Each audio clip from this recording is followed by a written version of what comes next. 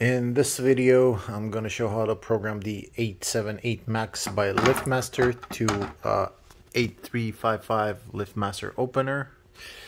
So we start with holding the pound and star buttons until the keypad stops flashing.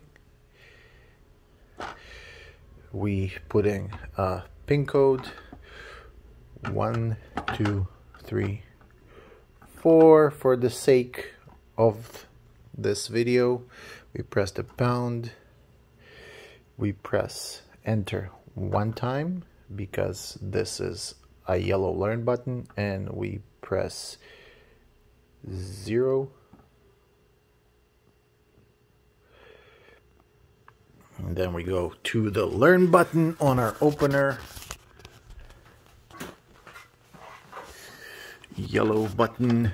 Press the yellow. Press one, two, three, four, and enter. And that's it. We're all good. And enter. Should open it.